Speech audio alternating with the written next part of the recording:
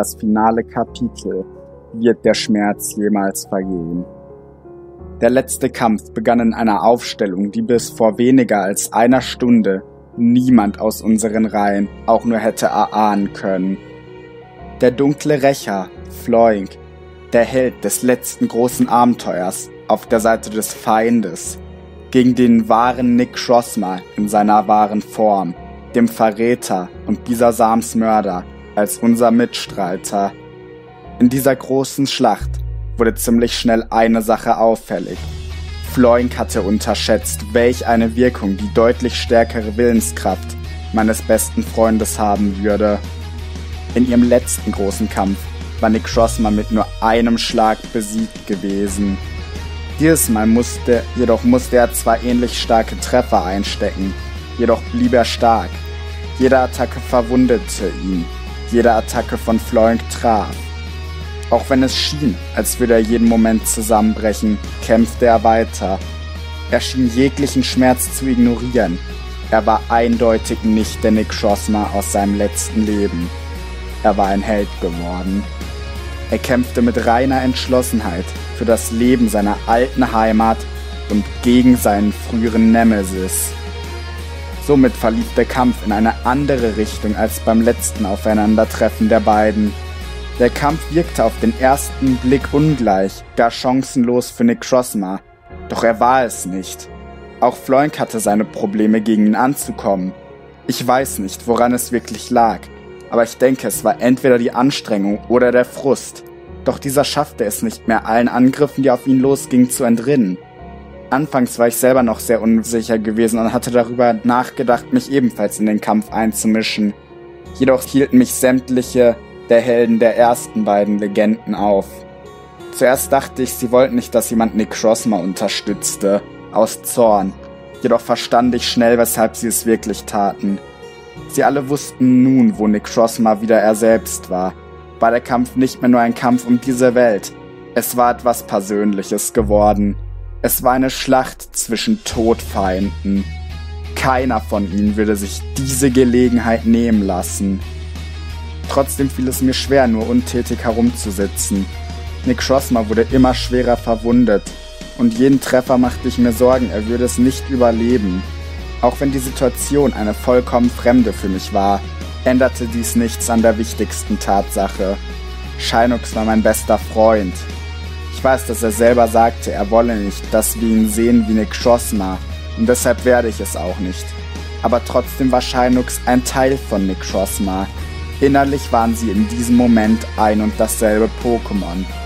Und ich wusste, wenn Nick Schrossmer diesen Kampf verlieren würde, dann würde ich meinen besten Freund verlieren egal was danach geschehen würde.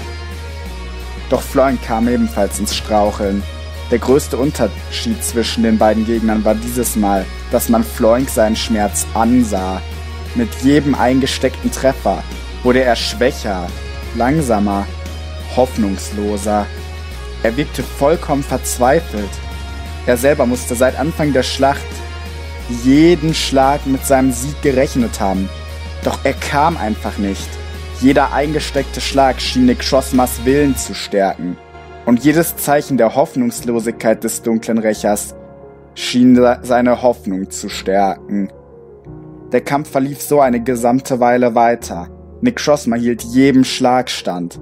Die Entschlossenheit war ihm anzusehen. Doch Floink hatte noch Hoffnung. Eine Technik, von der ich bereits in seiner Geschichte etwas lesen konnte, die er bisher jedoch nicht genutzt hatte. Mit seiner letzten Kraft teleportierte er sich zwischen uns und Nick Crossma. Im nächsten Moment durchströmte eine Explosion aus reiner Finsternis die gesamte Gegend. Jeder wurde von diesem Angriff getroffen und verletzt. Jedoch kam ich wie die meisten anderen noch relativ gut davon.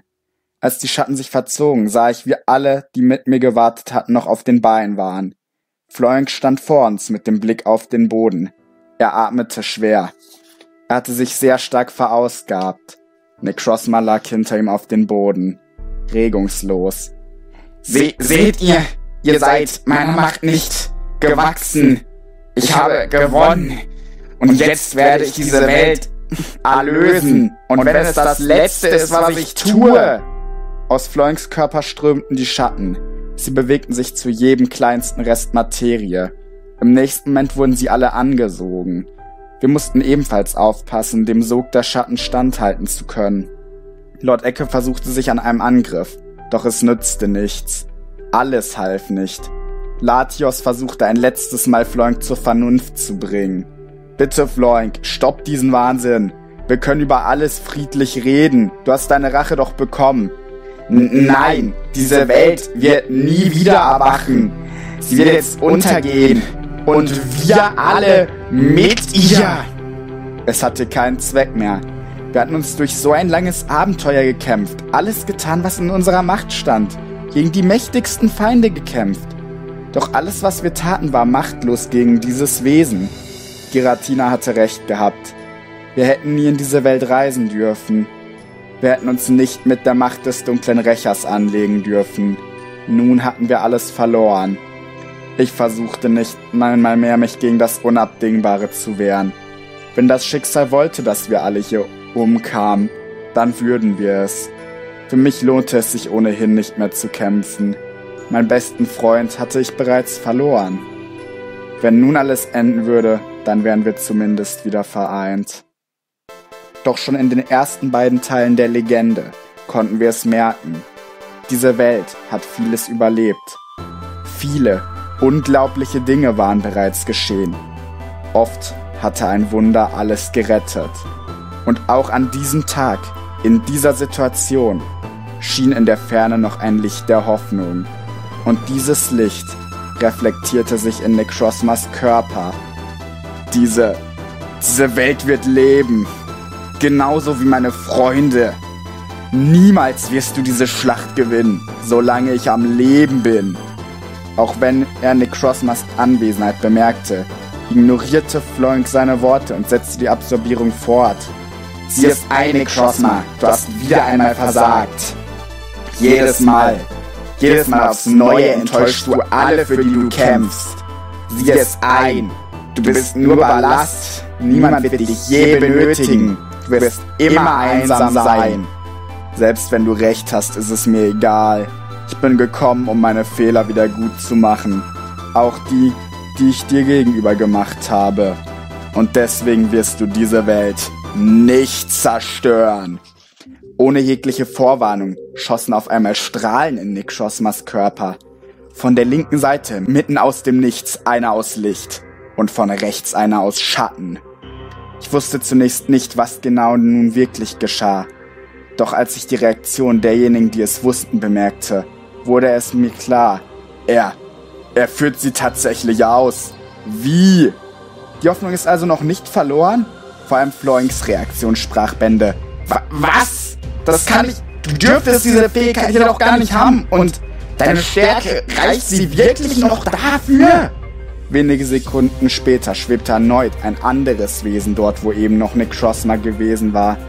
Es war größer als alle Pokémon, die ich je gesehen hatte, sogar als Groudon. Es war ein gelber Drache, dessen Augen in Regenbogenfarben leuchteten. Es war Ultra Necrozma. Ich werde immer die Stärke haben, die ich brauche, um meine Freunde zu retten. Ich habe eine zweite Chance erhalten.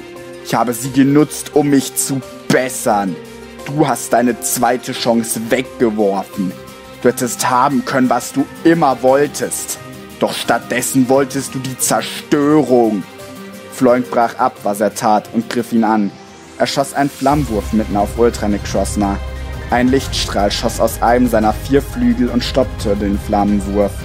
Aus dem anderen der Flügel kam nun ebenfalls Licht, und die Strahlen bündelten sich mitten vor seinem Herz.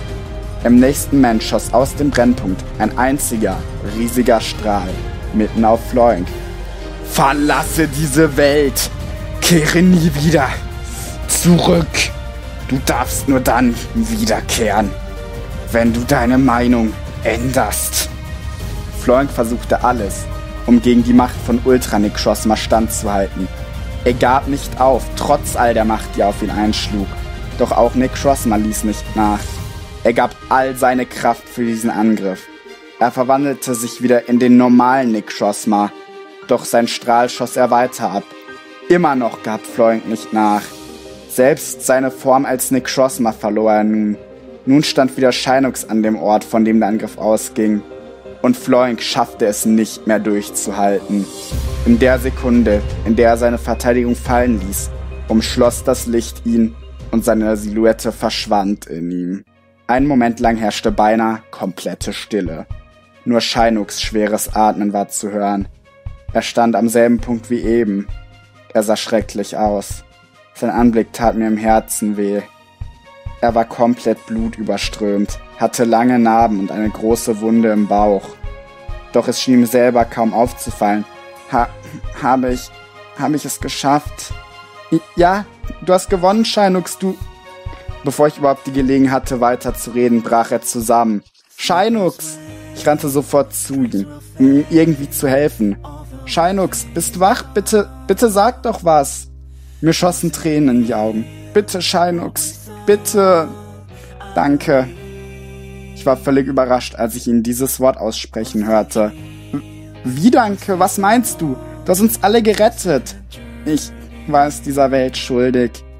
Ohne euch alle hätte ich es nie geschafft. Ohne euch wäre diese Welt verloren. Ich wusste nicht, was ich wirklich sagen sollte. Doch tief in mir wusste ich, ich müsse etwas sagen. Irgendetwas. Doch stattdessen fuhr Scheinux fort. Danke, dass ich euch alle begleiten durfte. Ich hoffe, ich konnte es zumindest irgendwie wieder gut machen. Bulbi, kehre zurück nach Schmuckstadt.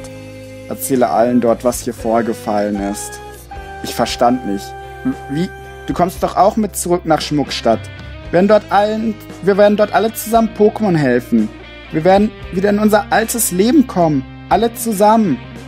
Nein, Bulbi, ich, ich denke, ich werde es nicht schaffen. Ich, ich kann nicht mit euch kommen. Was meinst du? du? Du musst es schaffen. Bitte, du kannst doch jetzt nicht einfach. Ich habe schon lange so ein Ende erwartet. Immer wenn du erzählt hast, dass du glaubst, dass du verschwinden wirst. Jedes Mal hatte ich gehofft, dass es vielleicht nicht dich trifft, sondern mich.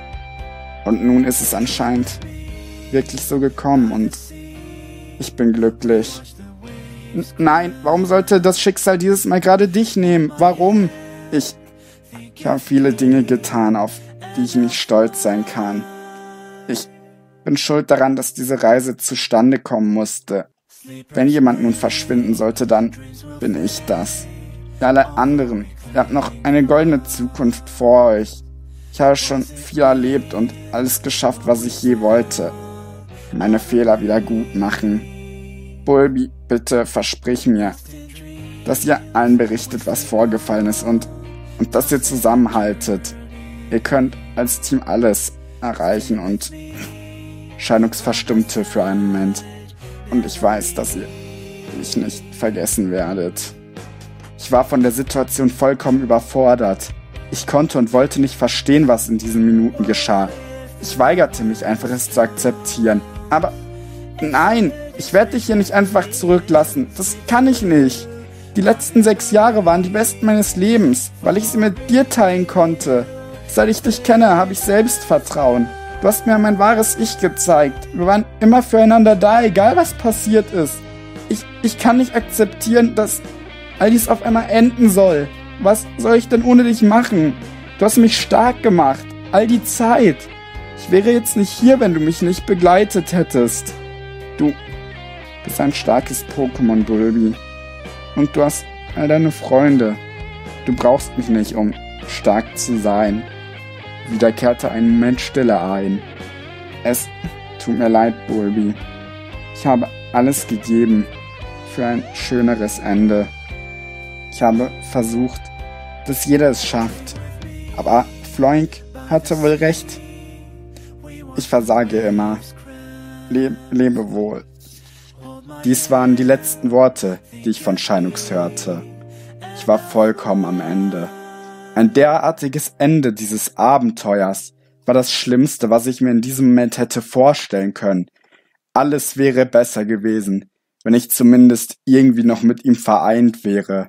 Ich kniete neben Scheinux auf dem Boden, immer noch mit Tränen in den Augen, während ich nebenbei mitbekam, wie um uns herum etwas geschah. Die Reste der Materie, die noch geblieben waren, explodierten. Sie füllten die Wände des Nichts aus. Es war, als würde jemand ein Gemälde um uns herum malen. Ein blauer Himmel entstand, ein See, ein großer Hügel und einige Häuser. Um uns herum baute sich aus den Resten dieser Welt Silberdorf auf. Und als schließlich die gesamte Welt wieder war, wie lange zuvor, erschien Pokémon wie aus dem Nichts. Sie materialisierten sich an verschiedenen Stellen des Dorfes. Dieser Welt war das Leben zurückgegeben worden und mir die Lebensfreude genommen. Immer noch saß ich weinend vor scheinungsregungslosem Körper. Ich spürte eine Hand auf meiner Schulter. Als ich mich umdrehte, schwebte Latias direkt hinter mir. Bulbi, ich denke, du brauchst etwas Ruhe. Du solltest dich ausruhen. Viele der Häuser im Dorf stehen leer, durch die Ereignisse während der dunklen Macht. Ich wusste, dass sie recht hatte, doch trotzdem wollte ich nicht von hier gehen. Ich wusste, wenn ich nun ginge, würde ich Scheinux nie wiedersehen. Doch Latias gab mir neue Hoffnung. Ich weiß nicht genau, wie es wirklich um Scheinux steht. Aber Bulbi, solange nur die kleinste Chance besteht, werden wir alles geben, damit er wieder gesund wird. Vielleicht ist es noch nicht zu spät. M meinst du wirklich? Oder willst du mich nur aufmuntern? Sie meint es, wie sie es sagt. Wir werden alle mithelfen. Stimmt's nicht, Leute? Lord Ecke und Hydropi stimmten beide zu. Meine Freunde brauchten genau wie ich noch Zeit, den Schock zu verkraften. Doch anschließend stimmten sie auch zu. Nur einer nicht. Darkrai. Was ihr jetzt tut, ist euer Problem. Meine Aufgabe hier ist erledigt. Ich verschwinde. Aber wir sehen uns wieder. Nicht als Freunde, als Feinde. Merkt euch das. Im nächsten Moment war er bereits verschollen. Seitdem habe ich ihn nie wieder gesehen. Und somit endet die Geschichte unseres großen Abenteuers. Etwa zwei Wochen sind inzwischen vergangen. Seemops, Chillast, Ivy und ich sind natürlich alle noch in Silberdorf geblieben. Ich werde nicht gehen, bevor ich endgültig über Scheinux weiß. Leider weigern sich alle mir auch nur irgendetwas über seinen Zustand zu sagen. Ihre Begründung ist, dass sie mir keine Informationen geben wollen, die dann vielleicht eine Stunde später wieder falsch sind. Somit weiß ich zumindest eine Sache, sein Zustand ist instabil, aber nicht hoffnungslos. Alles, was ich nun noch tun kann, ist zu warten und zu beten. Doch ich bin nicht die Einzige, die immer noch sehr mitgenommen von den letzten Ereignissen unseres Abenteuers ist. Auch Lord Ecke wirkt sehr traurig über Günther. Und ich sitze nun hier, in einem der verlassenen Häuser, in dem, was früher Bisasam gehört hatte, und warte. Und ich werde weiter warten. Diese Geschichte ist hier fürs Erste zu Ende. Vielleicht werde ich noch etwas nachtragen, doch unser Abenteuer ist Geschichte. Und wer weiß, vielleicht werden sich die Pokémon eines Tages nun auch unsere Legende erzählen. Eine Legende von Hoffnung, von Abenteuer, von Mut, von Freundschaft und eine Legende von der Liebe. All dies steht in den Sternen. Und eines Tages werde ich es wissen. Doch bis dahin werde ich warten. Scheinux, ich weiß, du kannst mich hören, egal wie es derzeit um dich bestellt ist. Ich werde auf dich warten, und wenn es für immer dauert, genauso wie dieser Ausklang es im Moment tut. Ich werde diese Erzählung nun abschließen mit einem letzten Zitat, das mir gerade noch im Kopf herumschwirrt. Es stammt aus einem Buch, das ich gelesen habe. Im Leben zählen viele Dinge. Macht, Ruhm und Geld. Doch nur zwei Dinge haben wirklich eine Bedeutung. Die Freundschaft und die Liebe. Nur wer dies realisiert, kann erfüllt leben. Mit diesen Worten macht es gut. Pokémon Mystery Dungeon Virus Edition 3 Heroes from Another World Ende.